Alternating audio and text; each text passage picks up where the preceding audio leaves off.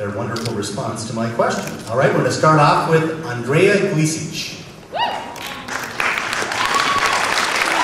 How are you doing, Andrea? How are you feeling? I'm wonderful. How are you tonight? I'm feeling pretty good. I'm feeling pretty good. Things are going very well. It's been a wonderful evening so far.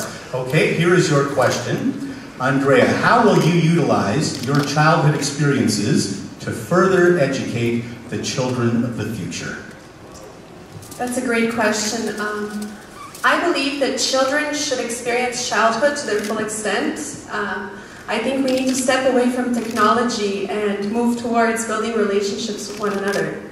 So I think that children, uh, or I should say parents, need to take their children out to the park, need to go on play dates, uh, and need to experience what it's like to have friends instead of just going onto the computer and logging into their Facebook or whatever it is else that's out there. Um, I think that's probably one of the most important things that I would like to pass on to, to the future children. Thank you. Thank you, Andrea. Very good advice. Hey, I took my daughter to the park today, so I think I'm right on track. That's great. All right, uh, Anastasia Frolov. Where's Anastasia? Down here. Anastasia, how are you feeling tonight? I'm great, thank you. How are you? I'm very good. I'm glad uh, that I'm asking the questions and not answering. It's not easy. It's not easy. All right, Anastasia, why do you feel it is important to receive an education given the beliefs of your heritage? Thank you. I believe it is important to receive the education because most women from my heritage do not receive an education. They go on to different paths and they ignore that portion of it. And I think education empowers people and empowers women. Thank you. Yeah! Thank you, Anastasia. All right, next up is Dion Ing. How are things going, Dion? Going very good. How are you doing? I'm great, thank you very much. Okay, here we go. How does a dreamer, such as yourself, have an impact within your community? Being a dreamer, you are able to impact your community by following your dreams. You turn your dreams and you implement them. You use them and you share with your community to make your community a better place. It is very important for us to dream. Without dreams, we are nothing. Thank you.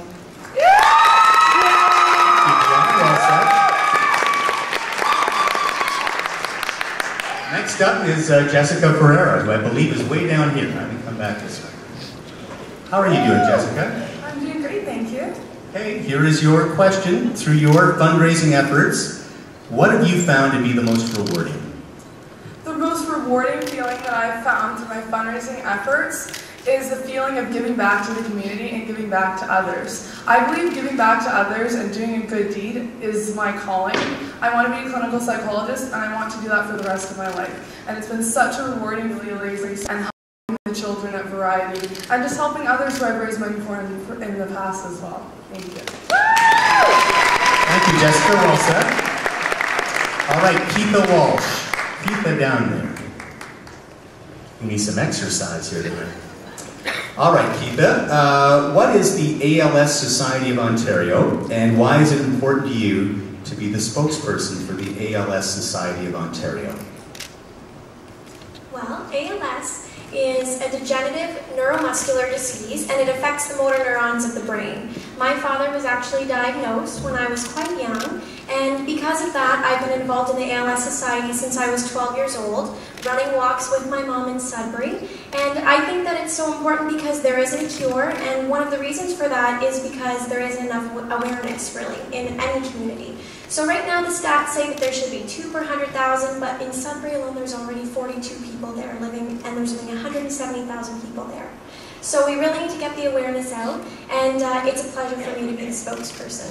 Thank you. Good job. Thank you, think our future's in pretty good hands, just listening to these young ladies so far. Malti Chadari. Malti over here. How are you doing so far, Malti? Real well. I'm really enjoying the answers to these questions. You guys are showing uh, amazing poise under stress, believe me. Okay, Malti, here is your question. How do you foresee your future journey should you become the next Miss World Canada?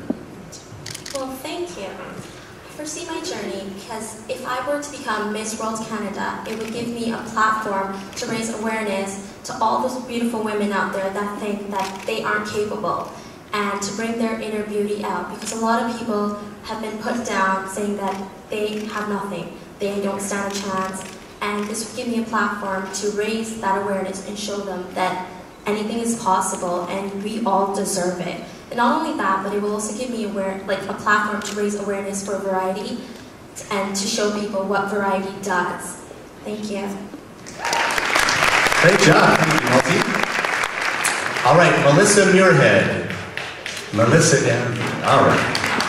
You've got a rainbow of colors as far as evening gowns tonight too. Very good job. You guys obviously talked and no one wanted to no one wanted to duplicate. That's wonderful. Okay, Melissa, here is your question. Why do you feel it is important to teach the women of your community self-defense? And I'm going to stand back because I saw your act. I've been doing Jiu-Jitsu for the last six years, and it not only teaches respect, discipline, and confidence, but it also is very empowering. And being able to share that empowerment with women, the women that come into the dojo at the beginning are different than the women when they leave. And the confidence that they build throughout the sessions are just incredible. And it's very um, contagious. And it's actually um, it started out as a grassroots and it's actually grown to um, repetitive women's self-defense classes for various charities not only just variety. Thank you. Thank you melissa in the dojo. I love that. In the dojo. All right. Nalani wakita. How are you tonight nalani? I'm Doing great, thanks. Okay, now if you were crowned Miss World Canada 2011, how would you show our true Olympic spirit to the world?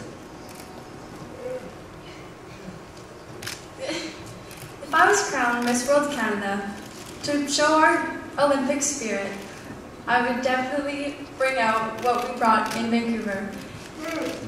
Down in Robson Square, I was there probably every day, and it was amazing, all the people, the patriotism we have here, and I believe that Canada should have that and have it all the time.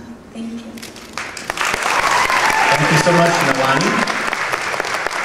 All right, our uh, next contestant, Pooja Anand.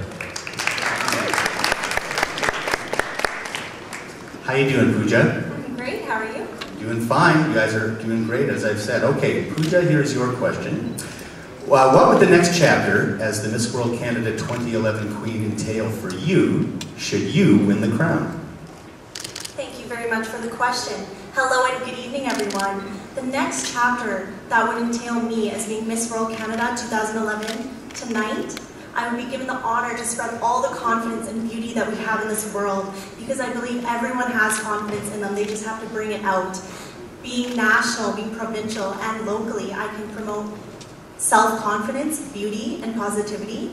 By being in Miss World, I will be able to bring a strong platform for females and males and the world. Thank you very much. Thank you. Thank you for including the males, too, because we're, we're part of. All right, Poonam Puni.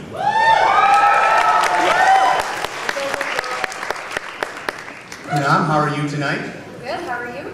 Doing fine, thank you. Okay, now if you are crowned as Miss World 2011, Miss World Canada 2011, or Miss World, hey, why not think big? What is your game plan to acquire the most out of this title?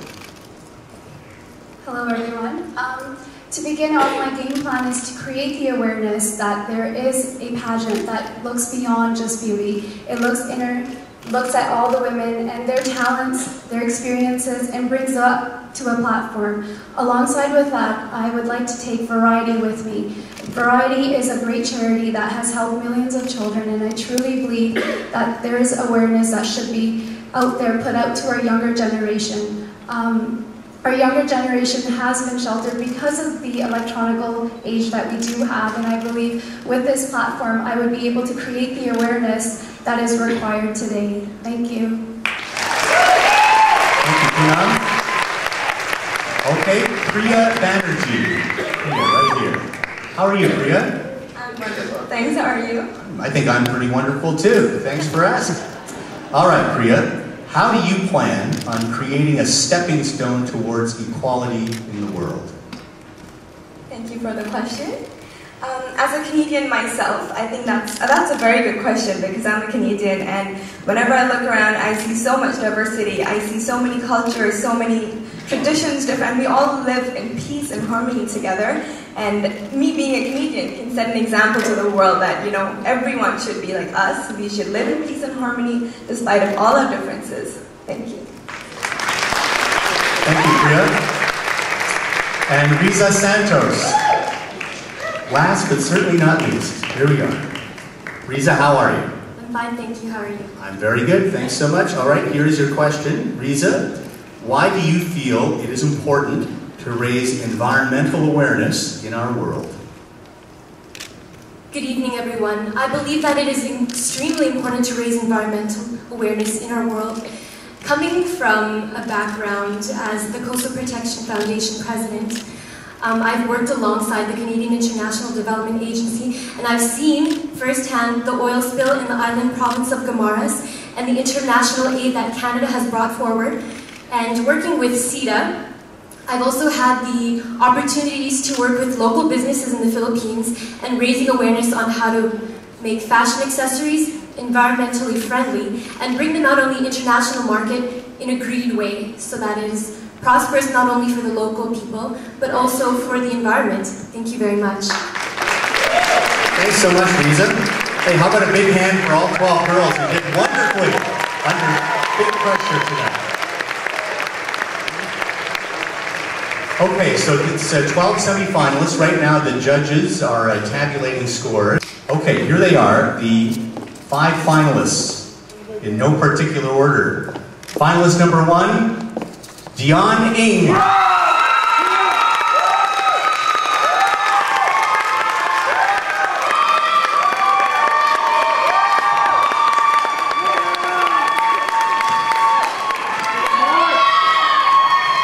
Our second finalist, Keitha Walsh.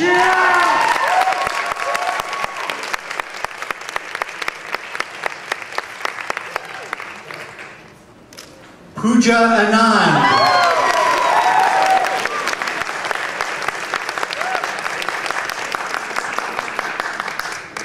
Paid off to wear a red dress tonight, it appears. Our fourth finalist, Poonam Puni.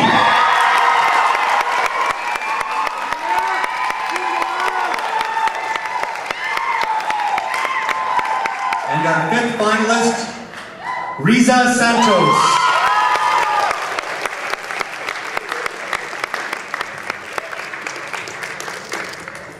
Okay, so at this time, our five finalists will come to the podium and they will give us a prepared speech that they have uh, prepared, hoping that they would make it to this moment. So we are going to start off with Dion Ing. Dion?